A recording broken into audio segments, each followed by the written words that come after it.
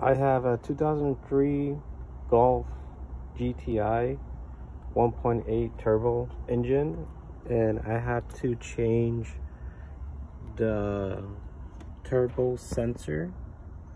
Now I had a really hard time trying to get this sensor. They told uh, they were said to take off the bumper and take off the fender and take off the headlight to get access to this part but I didn't want to take off the fender and take off the headlight and bumper. So I wind up doing is taking the the water tank the water tank for the for the windshield wipers. Took that off. There's a little assembly right here. It's all intact. So you just slide that back right over there. It's all intact but uh, I had a really hard time taking this uh, sensor off. And now we just take off the bolts right here.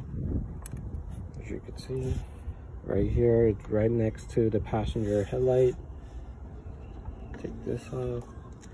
And this was actually a wrong sensor that I bought so I had to I have to give this return this and get the right sensor basically you just take that off with a screwdriver and then just reattach it put it back assembly put back the bolts. I was using this ratchet over here Craftsman. It's a smaller ratchet. Uh, it's easier to get in access to this panel. It's just an adapter to make for this. And I might have to get new bolts because these are really rusted and they don't shut thank you guys. Subscribe to my channel. Bye bye